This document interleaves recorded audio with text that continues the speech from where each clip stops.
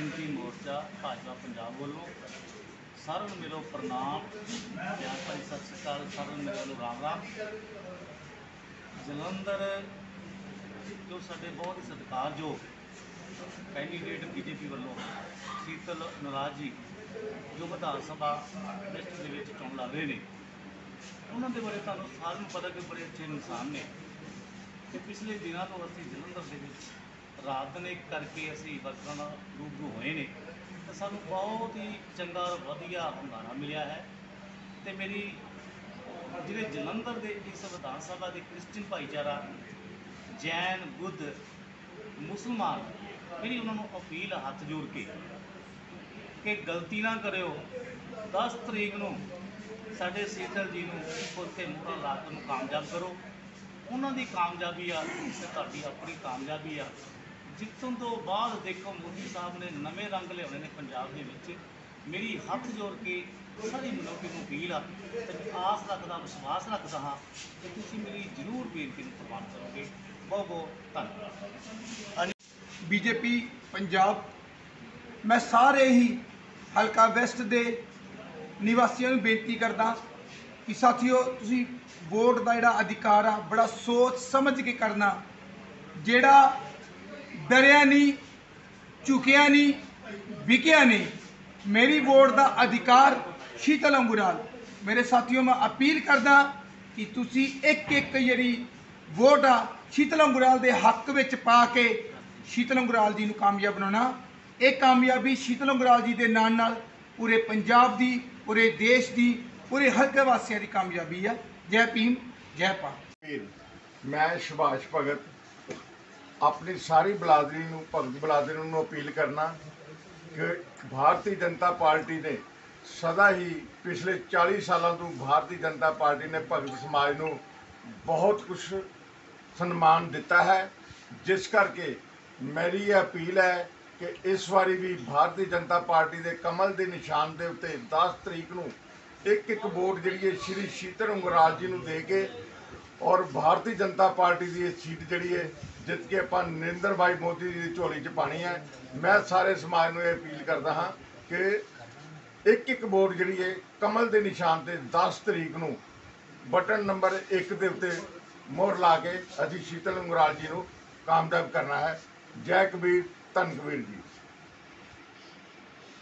ਧੰਨ ਕਬੀਰ, ਮੈਂ ਅਤੇ ਮੇਰੀ ਸਮੁੱਚੀ ਭਗਤ ਬਰਾਦਰੀ ਭਾਰਤੀ ਜਨਤਾ ਪਾਰਟੀ ਦੇ ਉਮੀਦਵਾਰ ਸ਼੍ਰੀ ਸ਼ੀਤਲ ਅੰਗਰਾਲ ਜੀ ਦਾ ਸਮਰਥਨ ਕਰਦੀ ਏ, ਉਹਨੂੰ ਆਸ਼ੀਰਵਾਦ ਦਿੰਦੀ ਏ। ਭਾਰਤੀ ਜਨਤਾ ਪਾਰਟੀ ਨੇ ਪਿਛਲੇ 40 ਸਾਲਾਂ ਤੋਂ ਭਾਰਤੀ ਜਨਤਾ ਪਾਰਟੀ ਨੇ ਬੜੀ ਸੇਵਾ ਕੀਤੀ ਹੈਗੀ ਏ ਔਰ ਮੈਂ ਇੱਕ ਵਾਰੀ ਫੇਰ ਅਪੀਲ ਕਰਦਾ ਹਾਂ, ਆਪਣੇ ਤੇ ਆਪਣੇ ਪਰਿਵਾਰ ਵੱਲੋਂ, ਸਮੂਹ ਭਗਤ ਬਰਾਦਰੀ ਵੱਲੋਂ ਕਿ ਸਾਡੇ ਬਹੁਤ ਹੀ ਸਤਿਕਾਰਯੋਗ ਸ਼੍ਰੀ ਸ਼ੀਤਲ ਅੰਗਰਾਲ ਜੀ, ਜਿਨ੍ਹਾਂ ਦਾ ਚੋਣ ਨਿਸ਼ਾਨ ਕਮਲ ਦਾ ਫੁੱਲ। ਕਮਲ ਦੇ ਫੁੱਲ ਤੇ 10 ਤਰੀਕ ਨੂੰ ਇੱਕ ਨੰਬਰ ਬਟਨ ਦੇ ਮੋਹਰ ਲਾ ਕੇ ਉਹਨਾਂ ਨੂੰ ਕਾਮਯਾਬ ਬਣਾਉਣਾ ਔਰ ਸਮੁੱਚੀ ਭਗਤ ਬਰਾਦਰੀ ਸ਼ੀਤਲ ਜੀ ਦੇ ਹੱਕ ਵਿੱਚ ਪੂਰਾ ਸਮਰਥਨ ਕਰਦੀ ਹੈ, ਜੈ ਕਬੀਰ ਧੰਨ ਕਬੀਰ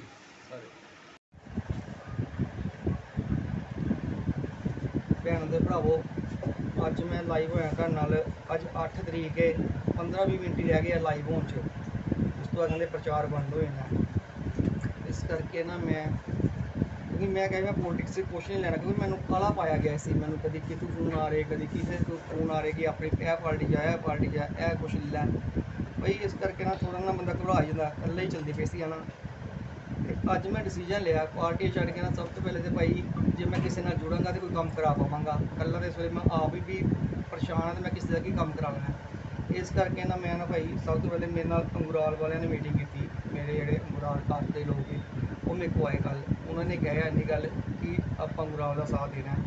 ਆਪਾਂ ਵੀ 1 ਮਿੰਟ ਚ ਗੱਲ ਛੱਡੀ ਆਪਾਂ ਅੰਗੁਰਾਲ ਦਾ ਸਾਥ ਕਰ ਦੇਣਾ। ਭਾਈ ਮੈਂ ਤੁਹਾਨੂੰ ਪੁਰਾਣੀ ਗੱਲ ਸੁਣਾ ਅੱਜ ਤੋਂ ਨਾ ਕੋਈ 20 15 ਸਾਈ ਜੀ ਪਹਿਲਾਂ ਜਲੰਧਰ ਵੈਸਟ ਦੇ ਵੋਟਰਾਂ ਨੂੰ ਕੀ ਕਹਿਣਾ ਅਪੀਲ ਕਰਨਾ ਚਾਹੁੰਦੇ ਹੋ ਭਾਈ ਮੈਂ ਇਹੀ ਅਪੀਲ ਕਰਨਾ ਚਾਹੁੰਦਾ ਕਿ ਮੁਰਾਦ ਸਾਹਿਬ ਨੂੰ ਖੋਲ ਕੇ ਵੋਟ ਪਾਓ ਖੋਲ ਕੇ ਸਪੋਰਟ ਦਿਖਾਓ ਭਾਈ ਇਹ ਮੈਂ ਤੁਹਾਨੂੰ ਉਹੀ ਗੱਲ ਦੱਸ ਲਗਾ ਜਿੱਲੇ ਪਿਛਲਾ ਇਲੈਕਸ਼ਨ ਹੋਇਆ ਨਾ ਆਂਟੀ ਦਾ ਸੰਤੋਖ ਚੌਧਰੀ ਦੀ ਵਾਈਫ ਦਾ।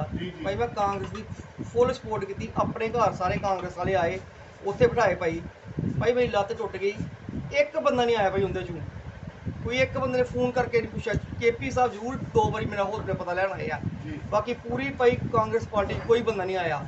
ਇਸ ਵਾਰ ਭਾਈ ਚੰਨੀ ਦੀ ਸਪੋਰਟ ਕੀਤੀ। ਚਲੋ ਆਪਾਂ ਨਹੀਂ ਜਿਤਾਇਆ। ਚੰਨੀ ਆਪ ਬ੍ਰਾਂਡ ਹੀ ਉਹ ਜਿੱਤ ਗਿਆ ਭਾਈ। ਉਹਨੇ ਜੋ ਵਾਅਦੇ ਕੀਤੇ ਮਹੀਨੇ ਭਾਈ ਇੱਕ ਦਿਨ ਉਹ ਵਾਪਸ ਨਹੀਂ ਆਇਆ। ਮੈਂ ਉਹਦੀ ਬਾਹ ਫੜ ਕੇ ਰੋਕ ਕੇ ਗਿਆ। ਮੈਂ ਕਿਹਾ ਤੂੰ ਲੋਕਾਂ ਘਰ ਜਾਣਾ ਪਿਆ। ਇਸ ਕਰਕੇ ਭਾਈ ਵੀ ਮੈਂ ਸੋਚਿਆ ਕਿ ਸਾਥ ਦੇਣਾ ਹੈ ਤੇ ਜਲੰਧਰ 'ਚ ਜਿਹੜਾ ਦਾਨਸ਼ਮੰਦਾ ਜਾਂ ਬੈਸਟ 'ਚ ਰਹਿੰਦਾ, ਉਹਦਾ ਸਾਥ ਦੇਣਾ ਹੈ। ਮਹਿੰਦਰ ਭਗਤ ਵੀ ਪਰਿਆ ਰਹਿੰਦੇ ਆ, ਸ਼ਹਿਰ ਤੋਂ ਬਾਹਰ ਰਹਿੰਦੇ ਆ। ਆਪਾਂ ਤਾਂ ਇੱਕੋ ਗੱਲ ਕਹਿੰਦੇ ਹਾਂ ਬਸਤੀ ਵਾਲੋ। ਸ਼ੀਤਲ ਮੁਰਾਨ ਨੂੰ ਵੋਟ ਪਾਓ, ਉਹਨਾਂ ਨੂੰ ਵੋਟ ਪਾ ਦਿਓ। ਮੈਂ ਤੁਹਾਨੂੰ ਇੱਕ ਗੱਲ ਨਾ ਮੈਂ ਤੁਹਾਡੇ ਨਾਲ ਪੱਕਾ ਪ੍ਰੋਮਿਸ ਕਰਦਾ ਕਿ ਜਿਹੜੇ ਆਏ ਪਏ ਨਾ ਜਿਹੜੇ 92 93 ਜੇ ਕੋਈ ਤੁਹਾਡਾ ਕੋਈ ਫੋਨ ਚੱਕ ਜਾਏਗਾ 11 ਤਰੀਕ ਤੇ ਆ ਕੇ ਕਹੀਓ ਵੀ ਮੇਰਾ ਉਹਨੇ ਫੋਨ ਚੱਕ ਲਿਆ। ਇਹ ਨਕਲੀ ਸਿਮ ਪਾ ਕੇ ਆਏ ਹੋਏ ਆ ਨਕਲੀ ਬੰਦੇ ਲੈ ਕੇ ਆਏ ਹੋਏ ਨਾਲ ਇਹਨਾਂ ਨੇ 10 ਤਰੀਕ ਚਲੇ ਜਾਣਾ ਵੋਟਾਂ ਤੋਂ ਬਾਅਦ 11 ਤੋਂ ਬਾਅਦ ਇਹਨਾਂ ਲੱਭਣਾ ਨਹੀਂ ਕਿਸੇ ਨੇ ਵੀ। ਜੀ। ਇਸ ਕਰਕੇ ਭਾਈ ਆਪਣਾ ਬੰਦਾ ਚੁਣੋ ਕਿਉਂਕਿ ਜੇ ਹਰੇਗਾ ਜਿੱਤੇਗਾ ਉਹਨੂੰ ਆਪਾਂ ਲਾਮਾ ਦੇ ਸਕਦੇ ਨਾ ਫੜ ਕੇ ਵੀ ਆ ਸਾਡਾ ਕੰਮ ਕਿਉਂ ਨਹੀਂ ਕਰਾਇਆ। ਨਾਲ ਭਾਈ ਜਲੰਧਰ ਵੈਸਟ 'ਚ ਮੈਂ ਖਾਸ ਕਰਕੇ ਦਾਨਸ਼ਮੰਦਾ ਦੀ ਗੱਲ ਕਰਨਾ। ਜੇ ਰਿੰਕੂ ਤੇ ਸ਼ੀਤਲ ਇੱਕ ਸਾਈਡ ਤੇ ਹੈ ਜੇ ਫੇਰ ਵੀ ਸਾਨੂੰ ਵੋਟ ਮੈਂ ਤੇ ਪਹਿਲੇ ਕਹਿੰਦਾ ਕਿ 90% ਵੋਟ ਹੀ ਫੁੱਲ ਨੂੰ ਪੈਣੀ ਚਾਹੀਦੀ ਹੈ। ਜੇ ਦੋਨੋਂ ਇੱਕੋ ਸਾਈਡ ਤੇ ਹੋ ਗਏ ਨਾ ਫਿਰ ਦੂਸਰਾ ਤਾਂ ਭਾਈ ਕੋਈ ਕੰਮ ਹੀ ਨਹੀਂ ਹੈਗਾ ਕਿ ਕਿਸੇ ਨੂੰ ਵੋਟ ਪਾਏ ਵੇ। ਮੇਰੇ ਹਿਸਾਬ ਨਾਲ ਤੇ ਭਾਈ 90% ਸ਼ੀਤਲ ਤੇ ਰਿੰਕੂ ਨੂੰ ਵੋਟ ਪਏਗੀ। ਤੇ ਮੈਂ ਭਾਈ ਇਕੱਲਾ ਕਹੂੰਗਾ ਦੂਸਰੀ ਸਾਈਡ ਤੇ ਗੁੱਡੀ ਵਧਾਈ ਚਲਾਂਗਾ।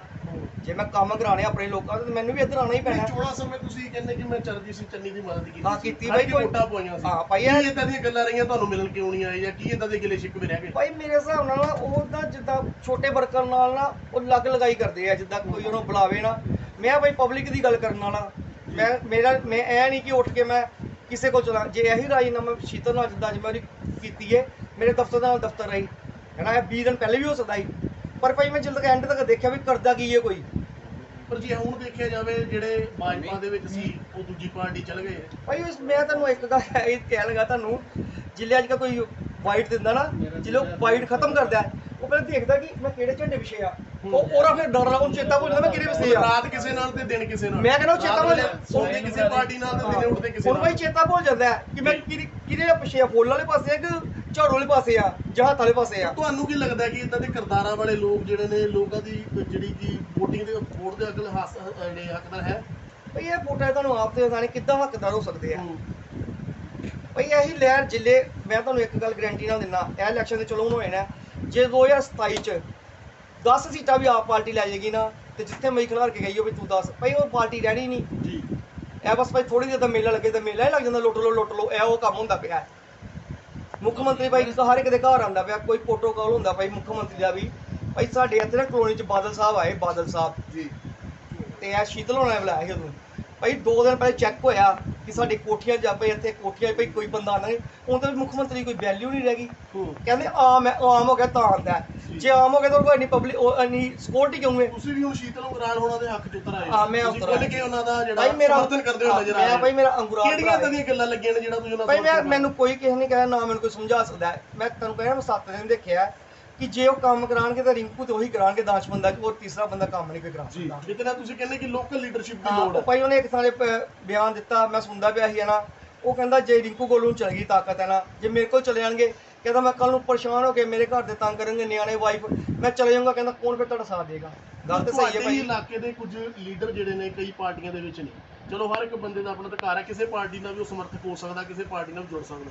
ਉਹਨਾਂ ਨੂੰ ਕੀ ਮੈਸੇਜ ਦੇਣਾ ਚਾਹੁੰਦੇ ਹੋ? ਭਈ ਇਹੀ ਤੁਸੀਂ ਆਪਣਾ ਪਛਾਣੋ ਦੇਖੋ ਇਹ ਸਾਰੀ ਨਾ ਹਵਾਈ ਪਈ ਹੈ ਚਲੇ ਜਾਣੀ ਹੈ। ਇਹ ਦੋ ਤਿੰਨ ਦਿਨ ਦੀ ਹਵਾ ਰਹਿ ਗਈ ਹੈ। ਭਈ ਉਹਦੇ ਜਿਹੜੇ ਹੁੰਦੇ ਆਏ ਪਏ ਨਾ ਉਹਦੇ ਕੋਲ ਕਿਉਂਕਿ ਇੱਕ ਸਮੇਂ ਦੇ ਵਿੱਚ ਤੁਸੀਂ ਵੀ ਕਾਂਗਰਸ ਪਾਰਟੀ ਦੀ